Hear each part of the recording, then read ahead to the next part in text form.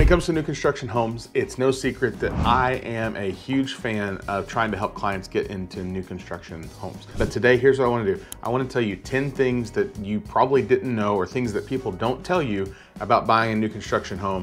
I wanna, let's talk about these things and, and make sure, you know, to see, hey, is new construction a right fit for you? And hopefully by the end of these 10 things, you know whether yes or no, that this is the direction you wanna go and we're gonna make it happen. So let's go, hit it.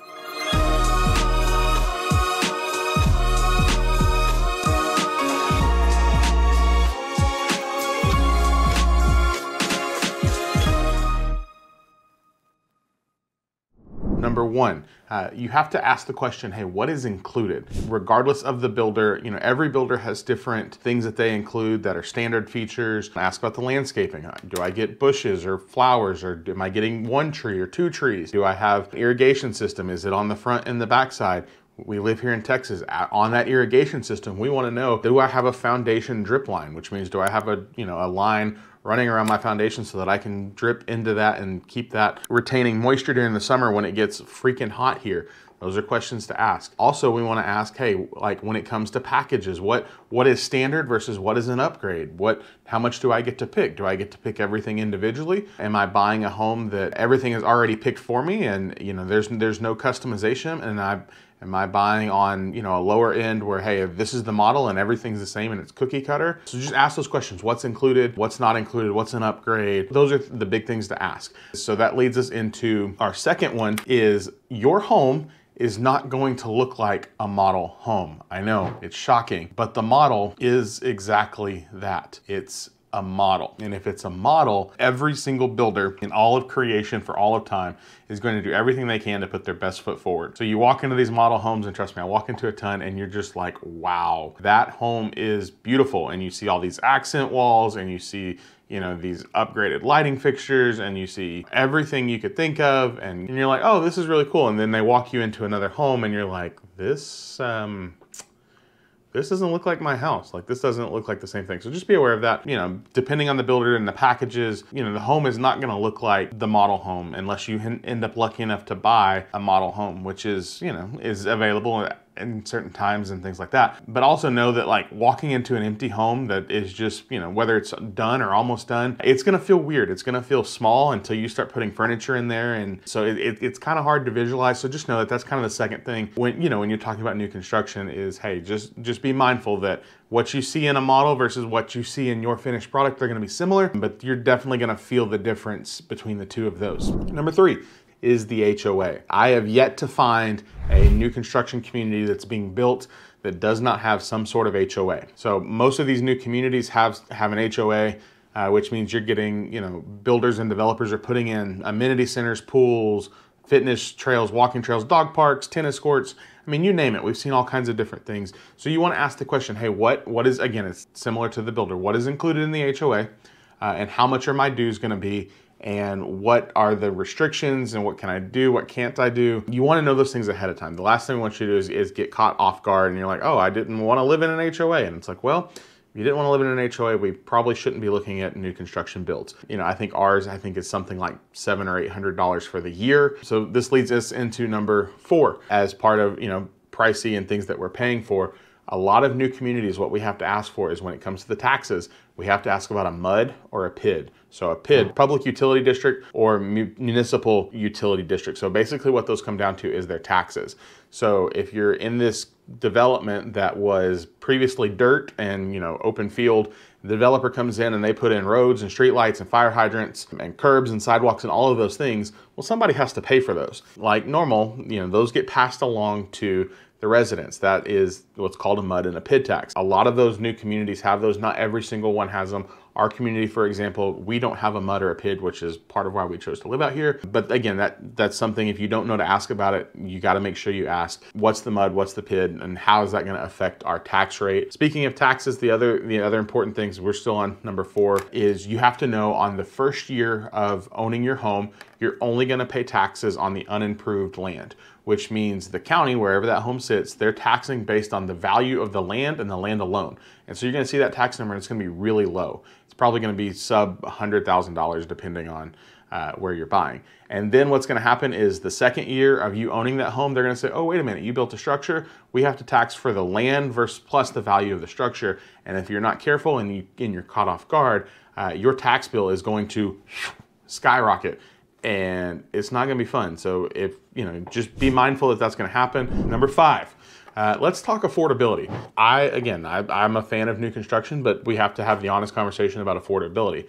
You know, everybody wants the, the allure and the excitement of something new and that shiny object, right? And while I will tell you there's a ton of new construction happening all over DFW, not all of it is equal. Uh, not all of it is the same, and prices are going to fluctuate depending on where you're at. You know, it's interesting to look at these larger builders that are building uh, several communities, and you kind of look through their websites and you see, you know, similar floor plans. And it's like, well, in one community, that floor plan may start at 350. Well, in another community, because of location, that floor plan starts at 420. And you're like, well, wait a minute, it's the same house. Yeah, it all depends on, you know, it's the old saying, location, location, location. So in terms of affordability, the thing you have to think about is as Dallas as a whole is the metroplex is growing it's growing in all the different directions north south east west we're growing everywhere um, but there are some areas that are growing more rapidly than others um, that are becoming more expensive than others very quickly and so a house in Royse City out here where we live that might cost you, you know, 350 to, to 400 in, you know, Prosper is going to cost you 600 for basically more or less the same house. So that that's something to think about in terms of affordability. Also, one of the things you, in light of that as well, uh, if you're planning on being one of the, if you work in, you know, downtown, uptown, Dallas proper, just know if you're wanting affordability, you're probably going to have a commute somewhere between 45 minutes and an hour. That three, you know, 320, 330 to about 450 price point, uh, you're going to have to get on the outskirts a little bit. I mean, it is available. Don't get me wrong. There, there are homes available that were, that are happening in that price point.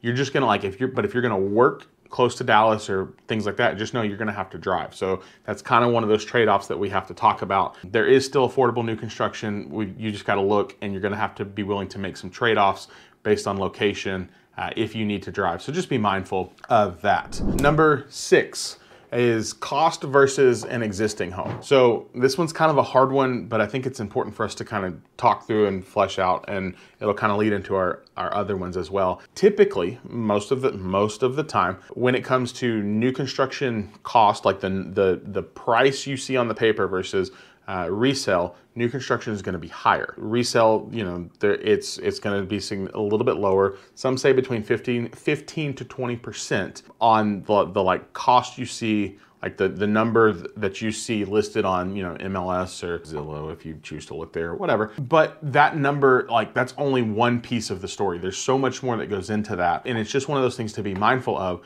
that buying the $450,000 house on, that's a resale house might actually end up being more expensive than the $490,000 new construction house because of incentives and the way that those things are built out. If you're wanting more house for the, your money, definitely the way to go is resell. Just to be honest, it's there's there's more there's more mature trees. There's the potential you know for pools, outdoor spaces, more larger lots in in established neighborhoods. A resale home is not is not a bad deal.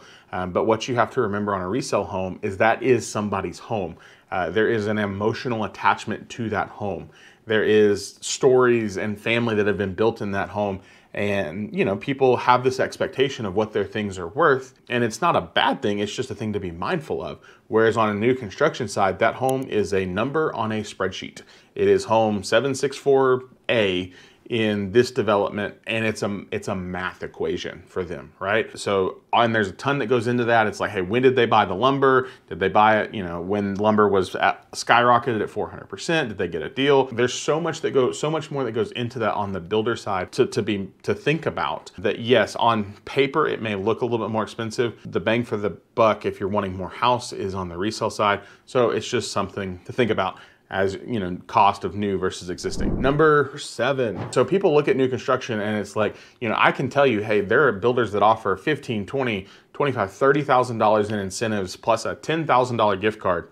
Yeah that's a real thing happening right now. We can we can talk about that.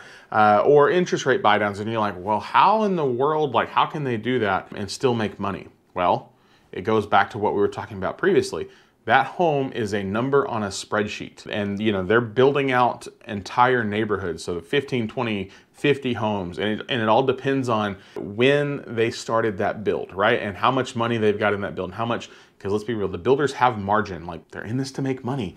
And the way they make money is buy low sell high and you know you make the money in the middle. So also most builders either own or have a deep partnership with mortgage lenders and title companies. So then, so when you start seeing all these advertisements of like, oh, hey, we've got $20,000 for you to spend your way.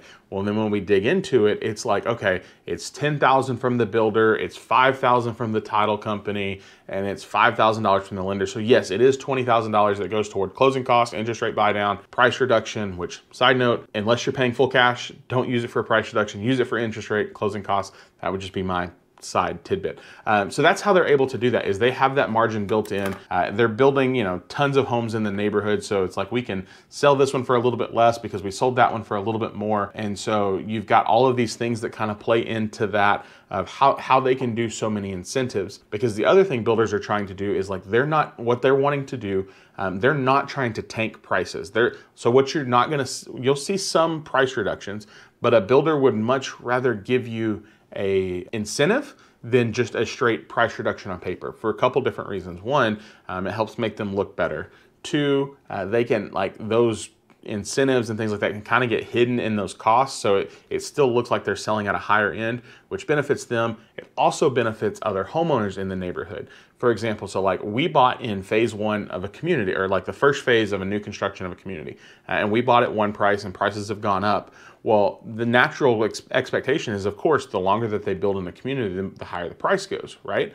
Well, so what we don't want is like they don't want me as a homeowner saying, "Oh, well, y'all you know, y'all undercutting my value, and I'm trying to sell." And so like the, that's where they're padding in those those incentives, right? So like you'll still see the the higher price, but you're getting incentive in you know terms of interest rate closing costs, gift cards, blinds, gutters, uh, washers and dryers, things like that. That's, that's where that's built in. Next one, thing you need to know about uh, new construction is do I need a realtor? Technically, no. You don't need me. You don't have to have somebody when you walk into a new construction community, but here's the thing. You're not going to save the money of not having a realtor. Like the builder's not going to say, "Oh, you don't have a realtor? Well, here, let me give you some more money." That's not how it works because the realtor is paid by the builder on your behalf. So, paying me to represent you uh, is built into their marketing budget. It's part of again, going back to the margin. It's built in for that. So why you need a realtor? You need somebody that understands, hey, the quality of that builder. What's good, what's bad, the questions that you should ask. You want somebody that walks in and out of those communities and knows to ask about, hey, can I pull my fence forward? Hey, what kind of insulation are we getting? Hey, can we add sinks here? Hey, what, you know, you want somebody that knows those things and can ask those things. You also want somebody that has a relationship with those builders that can leverage their relationship to potentially save you even more money right? Because for you, you're going to be one and done, and the builders, you know, they're going to move on. For me, those builders are going to continue to see me because I have a reputation with them and I, they want me to continue to bring clients to them. Uh, so the benefit of having a realtor is having somebody that A, works on your behalf. Again, as nice as our salespeople are, and I have tons of great relationships with lots of salespeople, they don't work for you. They work for their builder. Your realtor works for you. That's that's the most important thing. You want somebody working for you, advocating for you that can that can help you throughout that process, answer any questions, make sure things stay on target, and also you want somebody. So perfect example: uh, have a client closing on a home here at the end of the week. We actually just got a phone call at the end of last week that our builder and our sales rep have been were no longer with the company, and so they're having to scramble to get somebody in to catch up on get us caught up as quick as possible and get up to speed. Well, if the, if my clients didn't have me who had been following along with their process, they would be in a world of hurt. I mean, granted, it's still a little bit complicated, but having somebody that knows what's going on and can kind of help get everybody up to speed, keep everything on track is a benefit because it is surprising. You would be surprised how quickly um, sometimes sales reps and builders and things like turnover in communities, whether they go to a different builder or the builder moves them to another community or whatever, like that happens very, very quickly and it happens more often than you think. It is very, very rare that the salesperson and the builder that starts a community like from phase one is the person that finishes the community at the very end. It happens, but it's rare. Like I said, so you as you need a realtor that is going to advocate and be in your corner, know what's going on, and the builder pays for me to work with you. So it all works out. Let's talk about lot size, uh, and we're and we're almost done. So most people are shocked to find out when they go walk into a new construction community how small those lots are. Uh, a lot of builders now are building 40, 50, 60 foot lots, and you look at that, and so basically that's like uh, across the front of your house, it's like 40 feet across, and then another house uh, which means you start getting narrow houses and you start getting houses that are really close together. Builders do that because they started realizing, hey, we can cram more houses in, which means we can make more money. So that's just something to be mindful of when it comes to new construction. There are communities, again, we bought on a 70 foot lot and, and I think, you know, we're close, but we're not like super close. So that is, you know, if you're thinking new construction versus resale and you're wanting more space and you're not wanting to spend more money, resale would be the way to go. But just be mindful, like those those houses are gonna, unless you're in bigger community, and even then in some of those communities, it's like they're spending 50 foot lots and they're putting $600,000 homes on those, which to me is absolutely bonkers. But obviously people are buying them for one reason or another. But if I'm spending that kind of money, personally, I want a little bit of space. So just again, something to know that if you you you know you don't know it and you're surprised going in, you will be kind of shocked. And last but not least, thing you need to know about building new construction, how to get the most savings. It's really simple. Uh, we work together. Uh, again, I work here in the DFW marketplace. My name is Zak. I help families all over buy, sell, build new construction. Again, it's one of the things that I love to do the most uh, is walk you through the process of new construction homes, answer any questions and support you along the way. And I promise you I do everything I can to leverage myself and my relationships to get you into those homes and take care of you any way that I can uh, to help you save the most money, make it a really enjoyable experience. So that's the that's the thing you need to know when it comes to new construction. Hope you found this video helpful. Uh, if I can be helpful in any way, my contact information is going to be right here. They're going to put it on the bottom of the screen. Uh, in the description down below, you can find again all my contact information. You can book yourself directly into my calendar. You can browse homes. Whatever I can do to be helpful here for you. Thank you so much for watching this video. Uh, leave me a comment, hit that like button. Helps you know helps get this out to other people that we can help along the way. So so excited for you. We'll see you in our next video. Bye for now.